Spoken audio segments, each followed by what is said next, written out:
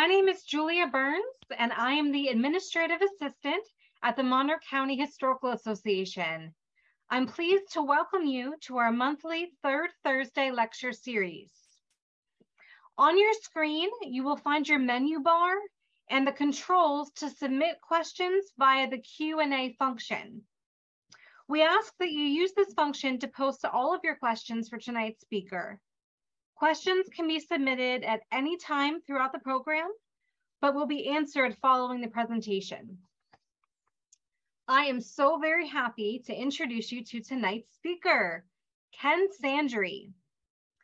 Ken Sandri is currently employed with the Forest Service as the Heritage Program Manager at Grey Towers National Historic Site in Milford, PA.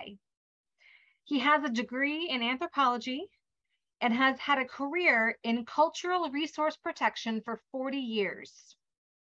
Ken wrote a book titled A Matter of Style in 1989 on architectural styles, which led him to focus on historic preservation. He joined a fledgling group in 2007 called the Historic Barn and Farm Foundation of PA, which documents the timber frame craftsmanship of the Forebay Barn in the Eastern United States.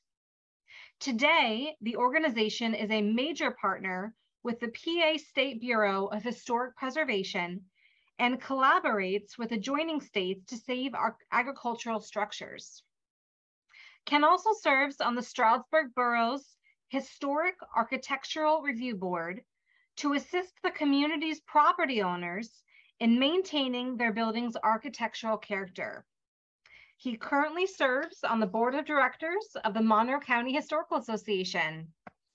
Ladies and gentlemen, I am delighted to welcome Ken Sandri, who will give us his presentation, The Forebay Barn, Its Origin, Evolution, and Distribution in America. Ken, take it away. Thank you, Julia. That's such a nice introduction. I appreciate it very much. Um, hello, everyone, uh, and welcome. Um, I'd like to share with you what I know and understand about the Forebay Barn, uh, also called the Pennsylvania Barn. Um, that is a descriptive term, not uh, that it's the state barn. It's just where it originated. Um, most of these photos that you'll see and most of my slides will be photos, accumulation of photos that I've taken with that group. Uh, Julia mentioned the Historic Barn and Farm Foundation of Pennsylvania. We're a, a, a statewide group. Um, and uh, we have a lot of fun out there looking at barns all over the state and even out of the state sometimes. Um, we're advocates for privately owned barns and farmland. Um, we usually meet in June and we do a barn tour in one of the counties of Pennsylvania. This year, I think, is in Cumberland. The year coming up, 23, is going to be in Cumberland County. Um, so uh, save some questions and ask them at the end of the presentation if you don't mind. Um, and let's move on to our first slide. All right, this is a, a, group of photos of barns that you see in advertisements, commercials. Um, most of them are from out west in the Midwest. The only two that you might see in our area are on the left. Um, the Adams, uh, the round barn is in Adams County. Um, it's not, not a very common barn, it's kind of rare uh, barn type, but uh, we have two and uh, maybe three in Pennsylvania.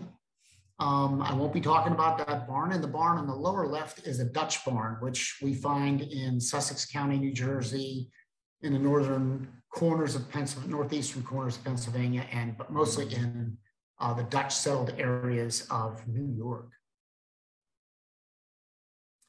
Okay, so this is a forebay barn. So I mentioned in the first slide, uh, pay attention to FORE, the forebay, because the forebay is the cantilevered um, section of the barn that hangs over the stable doors. Um, that was originated, we'll talk about the origins of that uh, particular feature, um, but you see them all over eastern and southern, south central, and even western Pennsylvania, uh, mostly in the southern half of the state though. Um, but the, uh, the cantilevered portion is functional. It protects the stable doors um, from winter snows, from snow building up. and You're trying to get the animals out in the winter. Um, it is also serves the forebay in the above in the second level um, as granary storage originally. Um, so we'll talk about the way uh, the barn has evolved in terms of its form in some of the slides. Now here on the left, some of you might, some of you might be familiar with Eric Sloane's book, uh, books, series of books. Um, such a great artist and a good historian. Uh, he documented some forebay barns in, in some of his books, um, the best of which I took a, a picture of and, and, posted there on the left. On the right is a page from Bob Ensminger's book.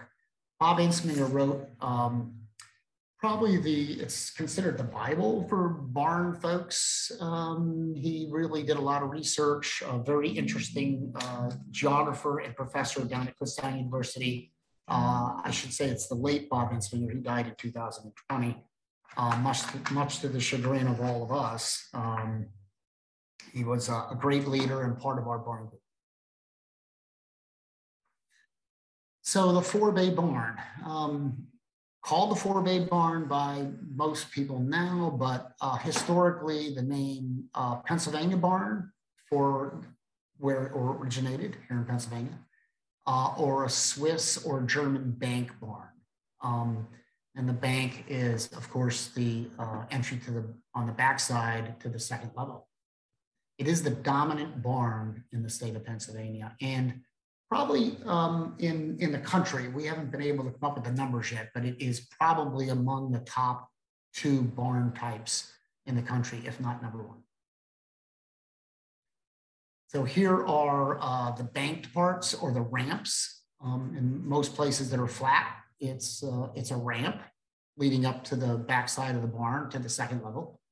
Um, in places where there's hillsides, which is where it really originated in the hillsides of, of uh, Europe. We'll be talking about that shortly. Um, the slope was such that they just built into the slope and the backside was already at ground level. The, second level was easy to access. Um, as evidenced by this drawing, this is again from uh, Eric Sloane book. Um, animals were, all livestock was on the first floor, on the basement level and um, the uh, processing of grain and um, storage of grains were on the second level. So the granary was up there, the threshing floor, and all the processes with um, threshing and winnowing the, the, the, uh, the, the, grain uh, happened on the second level. And of course, they stored hay for the animals' feed there also. Um, one item of note, which I might not get to, except that I'm looking at it here, is that when you're looking at a barn, if the barn is the only thing standing, uh, or even if the, the houses are standing, um, the horses were always stabled closest to the house. That's a telltale sign. If you're looking, there's only the barn on the property left, maybe the property's been developed um, you'll probably find evidence for the horse stables on the side that was towards the house. Here is the upper level. Um, it's kind of a crude drawing. It's from Bob Ensminger's book. Um, the forebay isn't quite as big as it should be. Normally a forebay is probably about, uh, in depth, it's usually seven to nine feet. Um, granary usually near the forebay or in the forebay um, threshing floor and machinery storage on either side.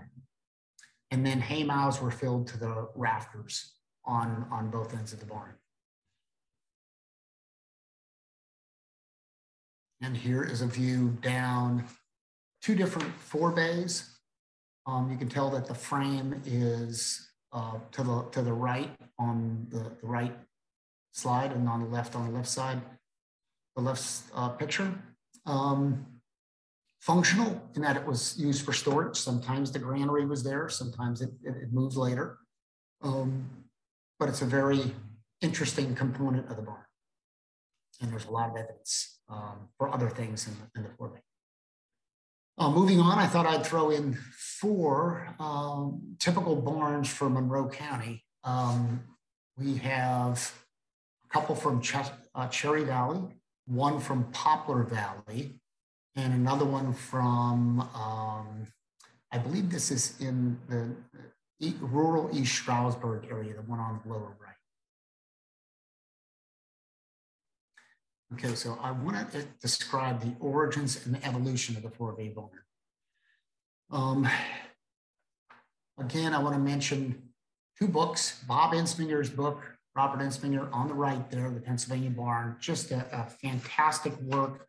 Uh, he was a geographer, but he did a lot of very good work on studying the evolution of the barn. He uh, began that um, early on. He's a um, German heritage and was very interested in um, where the barn came from. And he saw a picture of his wife's grandfather standing in front of a barn that looked like it was from Pennsylvania, but it was in Switzerland. So then that led him in another direction with documenting agricultural structures. And he spent 30 years until he published his first edition of this book, uh, Pennsylvania Barn, and is now in the second edition. The, the book on the left, and the reason I put that in was the first book on the Pennsylvania barn, or the Forebay barn, written in 1955 by Alfred Shoemaker. He was breaking new ground because no one had written a definitive book on barns in general uh, uh, um, prior to him, um, where it focused in particular on how the barn evolved. So that, that's a, a you'll find both books online Shoemaker book is expensive usually because it's uh, it's an antique now. Uh, but Bob Ensminger's book is is available online. It can be it can be found relatively easy, uh, especially down in the Lehigh Valley because that's where he lived uh, until he passed away in 2020. So here we are in Alpine, Italy. Um, this is one of the areas, um, Alpine, Italy, Switzerland, and um, Austria is where you'll find these barns. And again, because of the steep hillsides, um, the ability to, or, or the, the need to mow hay there and store it for the fodder for the, the livestock, um, that's where the forebay evolved. These aren't the best pictures. Um, I didn't run into the, the best examples like Bob Ensminger searched out in the Switzerland uh, uh, valleys, but um, this gives you an idea of what, what we're finding and the kind of area we're, we're finding these barns. This particular barn isn't too far from where my family is in Northern Italy. Um, it is a three level barn, which is interesting in itself. There's a first level entry for the stables and a second level working level in the barn. And then there's a third level storage, which is entered through a ramp, uh, a bridge that, that, we call here in, in Pennsylvania. We do have examples of this type of uh, three level barn in Pennsylvania. It's not rare. It's not common, but it's not rare. I would say I've probably seen in, in our tours maybe about 25 or 30, um, but that's of the hundreds of barns that we've visited. Um, this barn was built in uh, uh, 18 40, 1840 is the date there on the on one of the beams. These are more barns. Um, the upper the upper right is that same barn um, with my cousin's husband there standing, and then the owner. Um, the other barn is another three level barn. I did not get to go in this barn, but it is a forebay barn. Uh, it's kind of unusual, and it's in the town of um, hmm, I forget the name of the town, but uh, is right in the middle of town. Obviously, the town grew up around this farm. Um, and the two in the lower, the lower photos, I'd like to point out, are uh, relatively new. I mean, I saw the one in 2001 being worked on, actually saw the crew building it. So they're continuing the tradition. And the one on the lower left is a, uh, is a restaurant. Um, and they used the, a complete wraparound forebay, which exists over there too, and an open, uh, what they call a talina. Um, it's open and those, uh, those bars would be used traditionally in a barn as drying racks for the hay. They would just hang the, hang, hang the hay over those racks and let them dry rather than in piles in the field.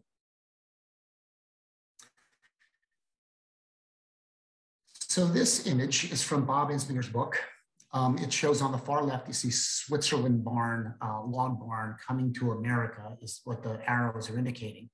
And then how each subtype of the major types of, of the Pennsylvania barn or the forebay barn um, evolving in different parts of the state for different reasons, different purposes um, that the farmer determined was, was important for him. But this just goes to show you um, the, the sheer number 34, if I'm looking at the numbers right, I think it's 34 different types, subtypes of the Pennsylvania barn, depending upon where you are in Pennsylvania. Of course, it's mixed in some counties. So the major types of the forebay barn, we were looking at the, the previous the previous slide was of uh, a lot all the subtypes, but the major types are the Schweitzer, and that is a asymmetrical gable end. Uh, I'll show you in a second, and a standard barn, which is uh, the most common uh, barn, uh, forebay barn shape and the extended barn. And I'll explain those different types of extended, extended front and rear, and, uh, and with a different shed. Okay, so here are the three types. Schweitzer has an asymmetrical gable end. They are the earliest barns. They usually have steeply pitched roofs. You can see them from afar. Um, and and this, this is the forebay cantilevering over the stable doors. Um, a common feature amongst all of them is that the beams, the floor beams, are one solid piece of wood, or they, they cross over a summer beam if they're real wide. Uh, that is the, the common element to the forebay is that the cantilevered beam supports the forebay. In the case of the standard barn, the forebay can be hidden behind a closed wall. We'll see end walls called the closed forebay. I'll show you pictures of that. But this is essentially open. This is the stable door, and this is open except on the ends where the wall has continued over. And instead of adding a different frame for the forebay, they incorporate the whole big barn frame and just shorten the foundation or widen the barn over the foundation, um, however you want to describe it. Um, again, cantilevered um, floor beams support or uh, define the forebay. Um, and the, the frame itself is a consistent symmetrical frame, symmetrical roof line over top of the forebay. Now in the extended barn, um, different things can happen. You can have an extension out the back because of increased need for storage, uh, increased needs for the animals, um, or you can have one out the front and extended and posted. Um, Bob determined, um, talking to an engineer, Bob Ensminger, that if you extend past nine feet, you were endangering the cantilever. So as a forebay gets deeper, you need to post. You need to put a post out in front of the forebay. And we'll see examples of that in the following slides. So again, here's the Schweitzer. This is from the Moyer Barn in Berks County. It's right from Bob Ensminger's book. A beautiful barn. I've been there. It's beautiful. And we'll talk about the, uh, the truss system in it too, which is very interesting. These are down near Hagerstown. Um, both of them uh, just over the border. This one is in Antietam um, Battlefield and was restored by the National Park Service.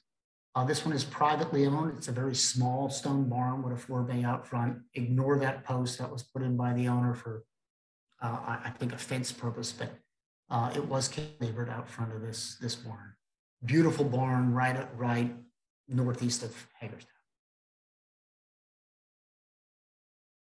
These are in the general area down there also near Hagerstown. Uh, this is a brick ender barn there is a band of brick ender barns uh, in south, south central to southeast Pennsylvania and into Maryland. Um, and that's their, their band of existence. There are some outside the area as far as like Carlisle and a few as far east as, as near Philadelphia, but the majority of them are in that area. And this barn is its neighbor. Uh, both of them are Schweitzers, as you can tell. The longer front roof line that forms the cantilevered forebay. And here you can see because of wood and the wood and brick contrast. Now, a little deceiving on, on some of these, but uh, again, a, this lower left is the, a Schweitzer. Um, this is in Franklin County, Pennsylvania. A beautiful barn, well preserved. The family did such a great job. Very little changes. Even hardware on the doors is still original. It's amazing. This here barn is owned by a family. They don't farm anymore, but they put the addition back here. And it was for um, um, I think, a woodworking operation for the husband. But essentially, this was a Schweitzer. When you walk in, you can tell this is the barn right here. And this is looking into their, um, their forebay out front.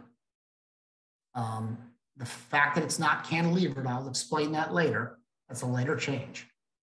Um, but anyway, it's a, it's a beautiful barn and, and, a log barn. It's the log barns are always interesting. This barn down here is posted. It has stone posts. Um, they are original. This is down near Chester County. This is where you find most of the stone posted um, forebays. Um, this is probably 12 feet, so they had to add some posts in here. I assume there was a stone post in this area that was must have failed and they put in some, some wood posts, but originally this was stone posted. Um, the Fox Barns in Berks County. Again, another log barn, fantastic, well taken care of. Again, all the hardware, the family has preserved this barn fantastically. This is part of our barn group uh, touring the barn. Um, it is a half dovetailed um, log notching, just beautifully done. A lot of wrought hardware in here. Um, just can't speak enough to the families that preserve their barn so well. This here is a ground barn um, called a Grundscheier in German. Um, the, this is the earliest photograph known. I think it is from uh, post-Civil War. It's the earliest one known in down in, uh, I think, Bucks County is where this was taken. Uh, and the image was taken from a newspaper, uh, I believe. I've never seen it live, I've only seen photographs of the image. And here's an example of a Grundscheier. In a Grundscheier, there is no, no access to the second level. It's a forebay, and you have to go up a ladder, or you load your hay upstairs through uh, doors, similar to this, uh, for storage. Uh, for some reason, they did not have a ramp to the second level. So it's called a Grundscheier. So agricultural capabilities um, in the United States started to grow. 90% um, of the population at the turn of the 1800s and into the 19th century was, it was the dominant job, the dominant industry for people in America. They were farming. Um, it became very lucrative. The soil was fertile. There was a lot of land. Um, families grew. And even in the 1840s, 70% of the people were farmers. So um, the capabilities grew and the capacity was there. Um, farmers needed to go from these small barns, which we saw in the previous uh, picture, these log barns, and they had to start building bigger barns. Their families were growing. It might have happened over a generation, but even so, they, they really need to expand. And so we see this physically occurring in the barns. What happens is we start seeing logs that were notched for a log building being used in a second generation barn, larger barn. These log barns originally, oh, they were somewhere around 20 by 40. uh, next level barns, they're growing. They're almost double in their capacity. Um, and then there's even third generation barns, but, but this is the most significant find. We keep, now that once we noticed this, our barn group noticed this on our tours, we ended up uh, seeing it almost every other barn. We see these because people were frugal. If the beams were good, they reused them as floor joists. They might not have been long enough, so they put them over a summer beam. Um, that is just typical of what we're seeing. And so it tells us on, usually we come on site we can say, well, there was a log barn here before because of these joists that we see. And the house is was built in 1870, so there must have been an earlier house. And we go back to the tax records, and sure enough, if you know if the part if the property is interesting enough, we might go back and research that, or someone might, and we find out that this has been occurring on, on farms. And, and uh, probably not only farms, but we, we see this reuse of material. It's a great indicator. Now the bent, uh, the bents configurations of a standard barn. So again, we talked about the standard barn as being um, asymmetrical, uh, symmetrical um, gable end um, through the barn. You have different bent configurations. Um, they were usually done by a master carpenter. They usually had a plan. Uh, sometimes a, a, master carpenter, timber framer would use the same plan um, in the area of his influence, wherever he worked in a county or a two county area. Uh, him and his workers would uh, um, build barns for their, you know, 30 years of, of operation, maybe 40 years. And sometimes we can see the same barn um, within an area, and we almost know that there's influence of this barn builder building the same type of barn. And we even have regionalisms, which are features that we find throughout a county because it was believed to be good for the stability of the barn. Um, very interesting. Um, timber frame configurations are datable and they can provide us with a lot of information. We can usually, our group can usually get together and talk about a barn and come up with a 20 year span for when it was uh, originally built. Again, notice the forebays here, here, here, here behind a behind an end wall. And we'll see photos of that here and, and then behind this Okay, so here are some extended barns. Remember I said it can happen out the front or out the back. Um, in this case, I'm gonna move my image. So in this case, uh, it was a Schweitzer barn, um, probably from the originally, but they made a stone outshed. Now, why would they do that? Well, whenever we see an outshed, normally it's the granary the granary has moved from the front to the back by design.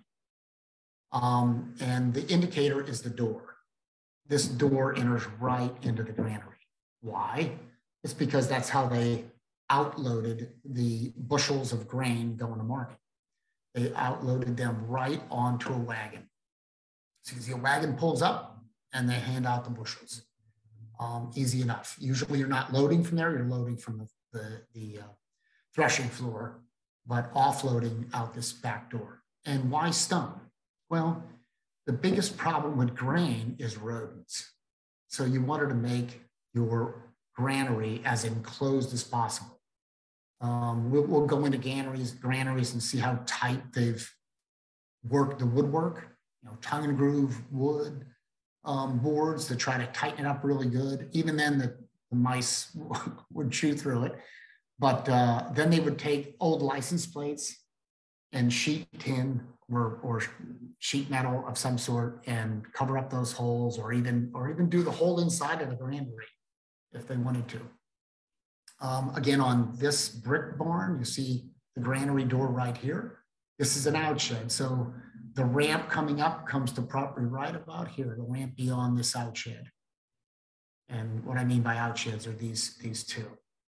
This is similar to these two here. The actual barn end is ended here, and then the outsheds are here. Same thing down here. There's the forebay. This is an outshed, it looks like. By the, by the mortar that it might have been built later, but I doubt it. I really think it was probably built at the same time as the rest of the barn. Um, and again, it, it would look like this from behind. Here is a granary. Here are two different granaries. Um, this one here is in the outshed. I can tell by the, by the slope of the roof. And this one, I think might also be in the outshed. It was just the best photographs I had of, of the granary. Um, different bins for different grains. Um, sometimes grain is still in there on the floor. And usually in the door going into the granary from the threshing floor, will sometimes have hash marks where they were counting their grain, you know, one, two, three, four slash, one, two, three, four slash. I can't tell you how many we've seen those and documented those. I hope I have a photograph of that, but they're keeping track. Um, not all farmers were literate and um, they sometimes used uh, whatever method they could to um, keep track of their um, material that was going to market. Here is uh, this one here we saw earlier, this posted stone. I want to have that in there as one extension, uh, extended uh, forebay in this case. This one is in um, Fulton County. Um, and you have a, a, really long, probably the furthest width you can go with a forebay, and also an outshed with a um, with an opening for a, a piece of machinery. Um, that was that particular farmer's need, and that's that's what he did but that outshed hangs over um, in, uh, in, in, open space below. It's not two four bays. There is a ramp going into the backside here, and the forebay is out here. Um, a beautiful looking barn. I hope it's still standing. These two barns are here. These are called, uh, Bob Ensminger calls them upcountry posted. Um, so upcountry, meaning mostly it was in hillier areas than the like the Lehigh Valley or the Great Valley uh, near Chambersburg. Um, these are further upland. Um, they're always wide extensions and posted. Um, both of these, this was in Cherry Valley, this one is in Delaware Water Gap, um, National Recreation Area. Um, and this also served as a loafing shed for the for the livestock. So in un, unseeming weather, you know, weather that wasn't uh, the best for the animals, they would they could move in under there. You see that now. Sometimes ouch, the uh, the loafing sheds are 50 feet long. They're, they're, beautiful. This this one has a great foundation. This one here in Cherry Valley. It hasn't been um, restained or anything, but it's it's a uh, it's a pretty good barn. They're, they're maintaining it at least. Glad to see that. And then there's one other type of extended barn, and that's a gable extension. So we have a front gable that they needed that much extra space, maybe an additional forebay area, and they extended the, uh, added a whole new front to the barn. This one's in Adams County, this one's in Schuylkill County, and oh, this one's in Schuylkill County as well. So it looks like a three gable barn, but one extension was usually added. They're, they're usually not built um, three gable, but they become three gable at a later date. Okay, let's talk about distribution in the United States. Um, there's a core area where they originated, and there's a domain where they're the dominant barn without a doubt. And then the sphere of influence is where we see them um, um, placed throughout the eastern United States. I shouldn't even say eastern because it's already been seen out in Oregon. Um, this is from Bob Ensminger's book. Um, the core area is the dark area.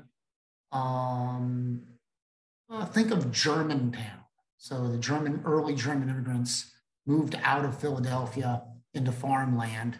Germantown was formed and uh, the German settlers moved, Germanic settlers, I should say, uh, moved west and north out of the, you know, the, the city uh, because of agriculture. And so this is where we find the earliest, best examples and the most of the, the forebay, the early forebay barns, right, this area. Um, so the domain is this area down into the Shenandoah Valley. There was a, a great road that came from Philadelphia, Great Wagon Road, went in towards Chambersburg, and then headed down Route 11 all into the Shenandoah Valley. This completely is all forebay barns. You know, I, I should say mostly is the without a doubt the dominant barn type. As our group started looking in the hilly areas of Western Pennsylvania, Bob extended this to be the domain. He found that without question, there's enough of the Pennsylvania barn, the forebay barn out that area to be called the dominant barn. These areas are Amish and Mennonite settlements. They took it right with them. Bob found them. Bob speaks German, and Bob would go out and talk to these people and you know hear about their grandparents and such. Um, and then the uh, um, the small dots are little enclaves of a few here and there, here and there. Since Bob's second edition, this is from his second edition, we've already expanded this um, sphere of influence. I found them down in southern Missouri, western Missouri. Um, Bob found and got some phone calls from people like in Oregon and Idaho who had forebay barns. There are anomalies out there, but nonetheless, they still exist. Um, people found use for them and a need for that shape, that cantilevered protection for the stable doors uh, in a two level barn. It's just um, so useful. Um, the features whether worthy of note, um, I would say um, checking the, the, the forebay certainly needs to be looked at really well. The, the bent, that's the, the configuration of the timbers that run um, laterally across the barn from eave to eave. Um, that's what forms the, major superstructure um, across the barn. Um, that's always telltale of a lot of different uh, uh, dating and also uh, what was going on in the timber framer's mind. Um, roof systems, there's only so many, and the way the roof was constructed is very important and worth documentation. Um, any barn modifications, of course, oops, let me go back. And then dating some details like uh, how the stalls were installed, hardware, um, or other features, decorations in the barn, sometimes dates. We do find dates, uh, date stones in the top of the barn, sometimes in the bottom of the barn. Um, um, they can be they can be very interesting. I'd have to have you in a barn to show you. Uh, this is in um, Greencastle area. Um, and I'm trying to remember the name of the family, but the, the family uh, um, chip manufacturers, I can't remember what their name what their name was. But anyway, um, beautiful barn, well taken care of. Uh, this barn is in Bucks County, I believe. Um, beautiful barn, just well taken care of, beautiful barns. Um, most of them are used for storage now. They're not used for agricultural purposes. People store in them. They have activities in them, or even sometimes there's weddings um, oh, and let me go back uh, real quick. This is an open forebay. There is no end wall extension. The barn, the forebay is completely open end to end. And again, this is fence related. It is not related to supporting the forebay. Um, and same here on this side. That's open forebay. What we're looking at here is a closed and a half closed forebay. So this is a closed forebay where the end wall comes all the way out and encloses the front. And that may, may be due to weather. Uh, you know, maybe I had a prevailing wind on the property and they're trying to protect the stable doors. Um, that's possible, or just maybe the builder's preference, the farmer's preference. Um, this is an example of an end wall being extended out to the front of the barn. It only supports the end of the forebay beam. That's, that's it. Uh, this is a half close. This is on the Conrad Weiser property, and this is a brick wall. This wall does face north.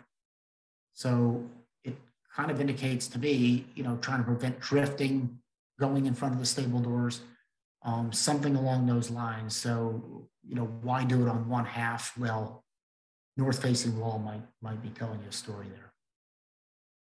And if I can go back, this is a gable front forebay, which is not um, not usual. It's not super rare. You will find them, but um, gable front forebay is what first occurred in Europe. What we see over in Europe in Bob's photos that he's taken in doing his book is that primarily they wanted the snow to drift off to the sides when the snow load was released from the roof. And so that was added protection for the, uh, the stable doors. And then, the, of course, the, the forebay would protect from just regular snowfall. Um, so then we have a posted forebay. Posted forebay, we saw a photo of that earlier. This one's down in Franklin County, brick posted, um, uh, round posts, almost always they're round. And this one is in another another uh, barn. It was the best photo I could get of, of, the, of this round pillar. But um, there was another one out in front of the forebay. It was just blocked by so much I couldn't get a good photograph. This one here in the upper right is on Hickory Valley Road. Um, it has round posts, and I talked to the owners. We had a nice conversation. Um, it is a forebay barn, but the round posts were our curiosity. And come to find out that the original owners of the property were from Chester County. That's where the dominant, that's where most of the um, uh, stone columned four bays are located. So it's interesting that the owners were from that, that area where they're where they see them and whether it was just a preference or they had a purpose for putting them in. Now we're going to talk about uh, dairy operations. Huh. So um, right about the turn of the 19th, the uh, 18th to, to uh, 19th to 20th century, um, dairy operations required a change in the way farmers did their business. If you were going to sell milk, you had to abide by certain new requirements. And that's when things like enclosing the forebay happened. So here's the fox barn, that log crib barn, and that's enclosed and they put windows in to get light in. Same same here with this barn. Um, in this case, it's stone foundation here, but this is concrete block. An obvious change, but this was a forebay barn for sure. Um, and then also whitewash. Whitewash was used pretty extensively. It reduced the amount of pests that the uh, owners had to deal with. Um, insects don't like lime. And I don't think mice like lime very much either, but it, it reduced, it probably didn't eliminate, but it reduced the amount of um, insects and it brightened up the space. Um, a dark space with an enclosed, um, another wall in the front um, caused some issues. So the whitewash was an addition, something that would help the farmer brighten up the area. Okay, timber um, bent configurations. I would have to have you on site to talk to you. I would gladly talk to anybody about their barns, but all types of timber frame, uh, tim timber frame bent configurations. And a bent, again, is a, a unit going eave to eave that supports the barn. You should have, you know, with the end walls, there should probably be at least five bents in most barns. Um, and they are telltale. There are so many features in these barns that can tell a story. Um, uh, at least four different components of a bent that can tell a story about the barn's age and the way the carpenter was approaching it. So um, we'd have to see one to talk about it, but I wanted to show you examples. Roof framing. Okay, here's a barn down, a forebay barn, obviously down in Antietam battlefield right after the battle. Um, it has a thatch roof. That was such a great find to find this photograph with that thatch roof. Um, all thatch roofs are steeply pitched. Um, and that's what we think was with the Fox Barn down in um, Berks County. um, steeply pitched roof, you'd be able to tell if we got down to the wood, if there was any remaining sheathing, we could probably tell if it was thatched, there'd be telltale signs. But that's always uh, interesting to see. Um, other, other roofs are steeply pitched and probably did, but some had uh, wood shingles, um, slate, and then later sheet metal. That could be pretty good. This one has sheet metal right now, both of them do. But uh, those kind of roofs are always interesting to see. Sometimes um, a wood roof is underneath the sheet metal. That's so nice to see when we get inside a barn and look up. Um, roof framing, um, common rafters are when the rafters are all the same size all the way across. When you have a principal rafter, this is an English kind of development. It's kind of interesting that they're in German barns, but um, a, a principal rafter is a very large rafter um, within, within the roof system that carries a purlin. The purlin goes principal rafter to principal rafter, and they carry the common rafters. So this rafter is resting on top. These smaller ones are resting on top of the purlin, and the purlin is into the principal rafter. This here is a principal rafter on these two sides. It's not all the way up, but this is a special truss. This is a special early truss called a Liegenderstuhl, which means a lying chair in German. And it, it is independent of the roof. The roof rests on it. It's very strong and it was used in Europe and it was used in America. It appears up until very early 1900, um, 1800s, and then it disappears from use. We have two in the area. There's a better picture. The Liegenderstuhl. This is the blue. Seen in Europe quite a bit uh, in traditional buildings, historic buildings. And here, this is uh, this is a picture of one down in the Oley Valley. Um, if you are familiar with the Oley Valley, very protected National Historic Landmark. Um, here's some that we've seen in our travels. We don't run into a lot, but there's more than we thought there were. I think we're up to like 30 Liegenderstuhl. Um, a very in interesting truss. We try to convince the, the, the uh, property owners that this is an important thing, that they need to pay attention to that. It's not just another uh, bunch of logs in the, in the or, timbers in, the, in this roof. And there's one other one, it's called the Stehenderstuhl, and that is essentially a standing stool. Um, this is in the Foster Armstrong building in Sussex County, New Jersey, Montague. Um, and essentially it looked like this, Stehenderstuhl. Again, the roof rests on this uh, rectangular um, roof truss system. Um, let me go back real quick. I wanted to say, I thought I'd have an opportunity. There is a uh, three Liegenderstuhls in the area. One is in Cherry Valley in the Kennedy Barn, and another one is in Delaware Water Gap in the Abraham Van Campen House in Millbrook Village. And a third one, I'm going to forget where it is. I'm sorry. Um, tie beams. Tie beams are very important. They run from eave to eave, and they tie into the, the uh, rafter plate in this way, the top plate. Um, they are important because at, at the change of about 1860, 70, uh, they disappear and, and we start seeing tie beams that drop below into the post. Not as strong, but it served the purpose. Uh, it was easier to erect the barn with, with this kind of tie, uh, drop tie beam because they could erect them with, uh, the bands could go up like you see a typical barn raising. It's a little different because if you have the tie beam that goes over the top plate, then it's, it's a little more complicated with uh, the uh, installation. But these, this here is in Cherry Valley, the one on the right. I'm not sure about the one on the left.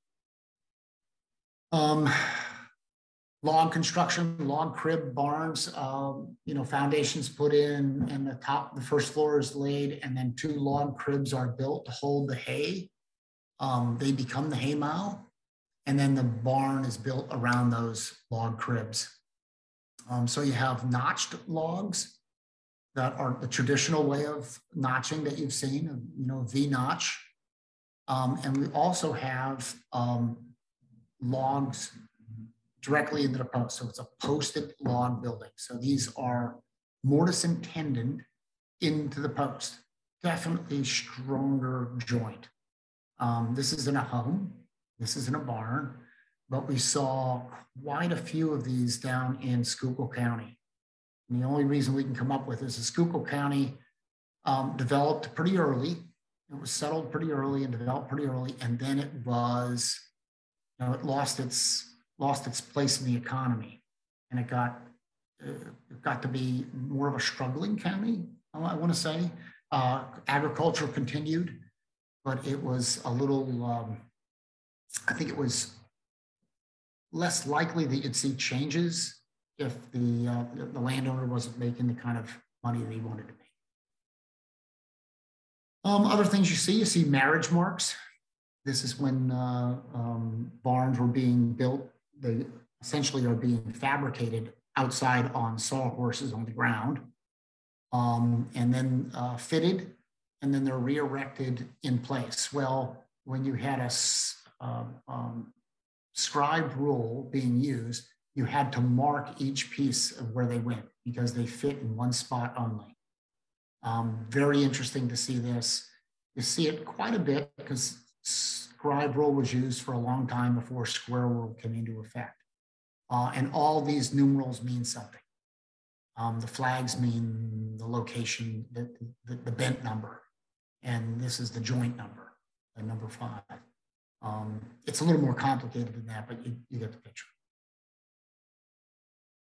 Of course, we see artwork in the barn. See the brickwork. This is down in Franklin County. Uh, um, um, farm owner on a, on a horse, um, right in the gable end. Um, we see dates, we see names, we see artwork. Uh, you just have to look. Usually they are inscribed, these, the wooden ones, are usually inscribed on the threshing floor walls. Um, that's where we look. We just shine lights down the, down the wall and you see them pop out. Um, barn decorations, things called hex signs. Um, they are not to do with witchcraft as um, Mr. Nutting put in an article uh, way back when and it had it made, made it I don't know, people got fascinated with the fact that it could be witchcraft or or some kind of voodoo, whatever, but they are not that. German families have told Bob they were just for nice. Um, and they were decorations that were mostly celestial um, stars, um, peace signs. There were, there were all kind of images that were done. Um, and Patrick Donmoyer wrote this book on, on the origin and what their meaning is um, with all his interviews. And he's visited every barn, he said, that has barn decorations on it. They're actually very beautiful. And uh, he's helped the painter who has redone a lot of these on barns. So dating techniques, um, again, barn type and subtype, um, noting the construction, the size and the configuration, timber framing methods, um, evidence of their manufacture, whether it's uh, hewn or sawn uh, timbers. Um, hardware is always good for helping date a barn and uh, any unusual or unique features is, is always worth um, doing. I'll certainly help anybody that wants to document their barn um, doing a small drawing, even if it's handwritten, like like this one is that I did years ago for um, a group down in in um, uh, Northampton County. Just doing a little evaluation. You take a day and you'd have a lot of information. Um, and in summary, just those particular things: dimensions, the timber frame, its fabrication, and uh, special construction. And then I'd like to hear any questions um, or any interested folks out there who have anything to ask. Is there any questions that um, have come out? Hi, Ken. Hi. We do have some questions. Thank you so much, first of all, for that very in-depth presentation. Oh, We learned a lot about barns today. Um, a few questions for you, so let me go to the Q and A. Okay, let's go. Okay, first question. Do you ever come across stone end barns? My twin uncles both had forebay barns, but one had stone ends. Oh, yes. Yes, you can see in the, in the center picture, there's stone end barns. That's uh, more common down in the limestone area um, where the, um, where the stone was available. Uh, where stone was quarried, I would say that, that's, if stone quarrying was um, available and there were masons, um, stone barns do Okay. exist. All right, here's another question. Mhm. Did Germanic immigrants take the forebay barn to other countries than the US, such as Brazil or Argentina? Oh, I, I am, I am sure of it. I am sure of it. I have no information about that. But uh, people love traditions and they usually carry them with them wherever they go. So I'd be interested to hear whoever asked that question, if they know of some, that'd be great. Okay, um, how did you come to be so passionate about this subject? Oh, it's that group. That group of guys, you know, all, of us are over 50 years old, and uh, Bob was 90 and still going to these barn tours. Um, it is just so much fun to go out with a bunch of knowledgeable people, timber framers, architectural historians, interested parties, geographers, um, who they just they had a passion. So they we we really enlivened ourselves with uh with the interest. And we would be like a bunch of kids running around the barn you know look at this look at that oh i've never seen it. Was uh it's it's an amazing um discovery time. That's great. Mhm. Um, is forebay still the predominant style of new barns that are built in PA? i do not think so. I think that the the dominant form now unfortunately is a pole barn I think if if a farmer needs a barn to store hay, he puts up a, a an inexpensive barn to save himself mm-hmm. money. I can't blame him, but I wish more people would look into investing in these timber frame barns because they're so strong. I've seen people try to tear them down, and timber frame resists bulldozers Wow. long enough that you're impressed. Yeah. Okay, another question. Um, all of these barns look really big. What's a typical size for a forebay barn? And is there very much variation in sizes? There is variation, and it usually in regards to the, the farmer's operation, how big his farm was. Um, early barns were smaller, later barns are larger. Average, I would say, I would say that falls in the area of like 35 feet wide to about 60 long or, you know, the long side on the front. Okay. Um, that seems to be about the average, but we've had them, um, the Kennedy barn that has that Liegenderstuhl down in Cherry Valley. Um, that's a, that, that's a beautiful barn. That is about, I think it's near hundred feet by 40. And the interesting thing about that is it was built in 1796. Wow. The year as the Stroud Mansion. I know, yeah, a year younger. It was that that old of a barn and very impressive uh, property, and the, and the uh, the owners, the Kennedys, took really good care to repair it. It was in bad shape. Mm. Yeah. Okay, would these barns uh, typically be found on any type of farm in PA, or were they more limited to the wealthier farmers and landowners? Seems like they would be kind of expensive to build and maintain.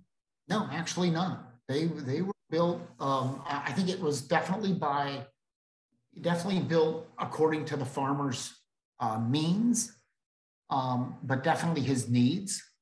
And farmers would build uh, forebay barns of log. You'd be surprised how much effort would be put into it, and they were just a single family. Um, uh, barns were a major part of the operation. When agriculture was big in Pennsylvania, they couldn't invest enough in their farms because they would make more and more money if they had Hmm. end grain. They were doing fantastic, and I would say the answer is no.